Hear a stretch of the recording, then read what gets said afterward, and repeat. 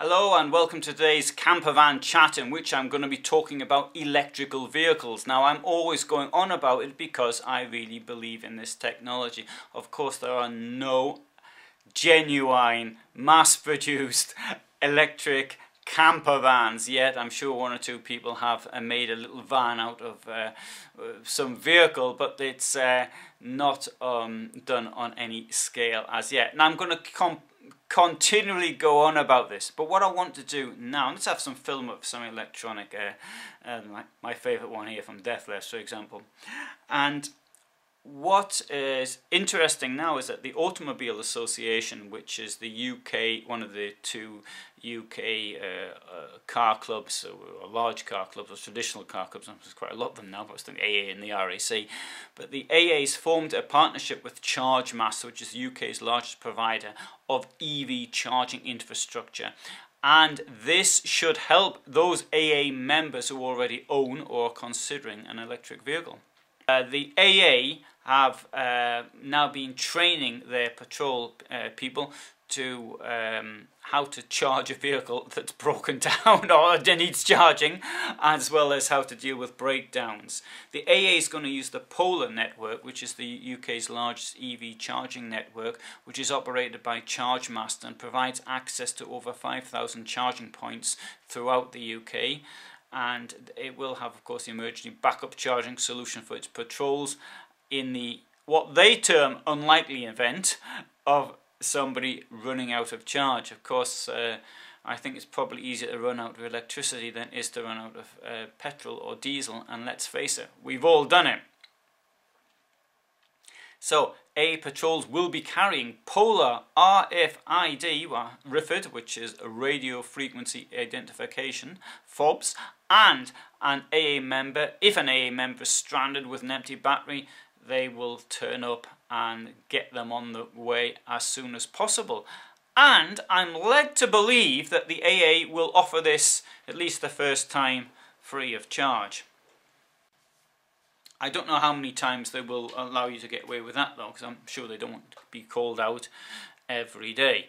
So, uh, in the UK, there's about 300 new charging points going in every month. And uh, I think it's natural to sort of worry about uh, running out of electricity. I think this is more, more, the case really with petrol or diesel because at least you know petrol or diesel we've all got a spare can and we can sort of walk to the petrol station and uh, uh, get, get some more fuel. Now in the UK there's now 14,000 public charging points and um, you know with 10 new ones every day that number is really going up quickly. If we consider that the average UK journey is less than 16 kilometers 10 miles then really it is not so much a problem. What is interesting is the uh, for delivery vehicles and we know from studies for example by Renault that the average uh, van does around 90 uh, delivery van around uh, town will do about 90 kilometers a day something like that. So that's easily within a full charge for a van. Edmund King the president of the AA said that uh, he's always been at the, his organization's always been at the forefront of motoring innovation and as far as membership surveys show, the number of plug-in vehicles is going to increase considerably. So that is why the AA is so keen on making sure that its uh, patrols can get people up and running again. David Martell, the chief executive of ChargeMaster, says that in many ways, the UK is now past the tipping point for electric vehicle adoption, and the pace of change of the coming years will be quite dramatic. His company recognises that the charging infrastructure, whether at home, uh, uh, work, public, or is going to be uh, really critical to the amount of people who buy EVs, and therefore they want to support drivers to make the switch because it's good for their business as well. He goes on to say that although many people are concerned about the number of charging points, the reality is that including dedicated units fitted at home, there are as many charging points in the UK as there are electric cars. the benefits now available to 15 million AA members mean that many more drivers will have the confidence to join the thousands of people moving to electric motoring every month. So, but let's have a look though at some of the concerns because the AA did a, a survey uh, using a populace of 16,629 people in July 2017 and uh, these are the things which people are worried about. 84% uh, are worried about the availability of charging points, 83% on the high purchase price of electric vehicles, and that really is a very good point to be understood. Durability is a worry for 69% of people. Limited range is a worry for 61% of vehicle. Time taken to charge bothers 60%, and the lack of choice and availability worries around half of those polled. So, um, how many of these points are myths?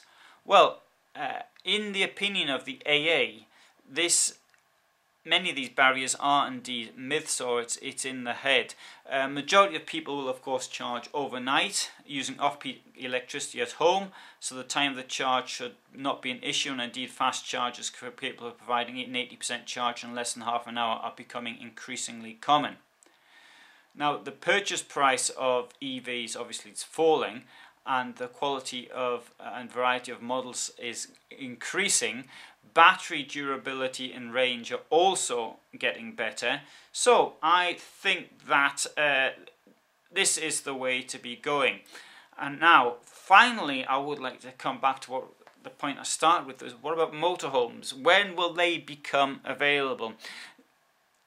It's going to take some time. It's going to take, I don't know, will we see electric motorhomes in this decade, let's say, so, so I'll give myself until 20, 2020.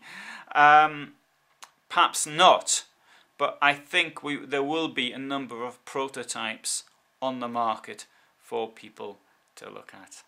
Right, so that's all I am going to say on this subject today. But if you're interested, I'm going to be returning to this. Um, here we've got, um, sort of me and a couple of my mates, um, we've got this plan of producing an electric uh, van. We're trying to work out how to do it. Um, if you followed my series on my motorhome refurbishment, you'll know that we uh, put 230 volt uh, electricity in the van and uh, we're trying now to build on this as an idea. Maybe uh, it would extend the range of uh, electric uh, vehicles.